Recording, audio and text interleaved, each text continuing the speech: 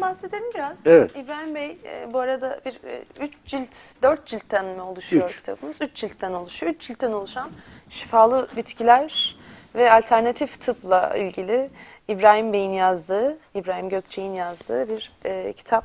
Gerçekten e, rahatsızlıkları ayrı ayrı belirtmişsiniz. Gereken hastalıkların işte bitkilerin ayrı ayrı yazmışsınız kitabın içerisinde. Kaba kulaktan tutun Artık hepsinin bulamıyorum da ayrı ayrı Evet.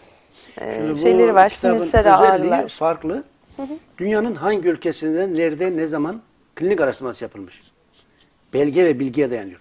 Bunları da Binden fazla klinik araştırması ve bitkilerin hangi özelliklerde olduğu, nasıl etki yaptığı, yani nasıl et- etki mekanizması ve birleşimindeki etken madde nedir, nasıl etki yapar? Bugüne kadar yazılan ilk ilmi kitaptır. Yani son bin yılda. Bitkiler üzerine.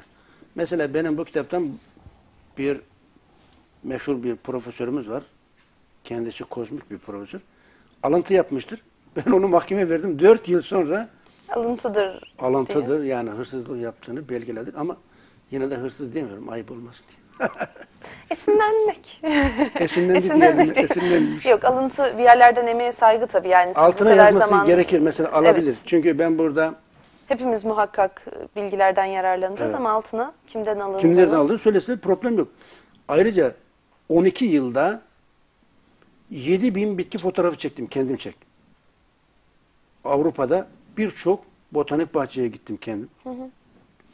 Dolandım yani. yani 12 yıl. 7 bin bitki fotoğrafı kendim çektim. Bu bitkiler nerede yetişir, nasıl yetişir, özellikleri nedir vesaire vesaire. Mesela ıtır, Afrika ıtırını fotoğrafını çekebilmek için Almanya'nın Doğa e, Dresden şehrine uçakla gittim geldim. Bir bitki fotoğrafı çekebilmek için. Çünkü bulamadım başka yerde. Veyahut da bazen Antalya, Kaş veyahut da başka bir şehir. Trabzon'a, oraya buraya. Yani birçok yere gittim. Bitkileri kendim araştırdım, buldum. Her bitkinin bir fotoğrafının ayrı ayrı hatırası var. Çok zor şartlarda bunları Evet gerçekten temin e, ettik. kitaplar da o şekilde üç, üç cilt e, yazılması da kolay değil. Bunun bütün belgeleriyle bilgileriyle uzun zaman almıştır eminim ki. E, fotoğraf da keza aynı şekilde araştırmalar uzun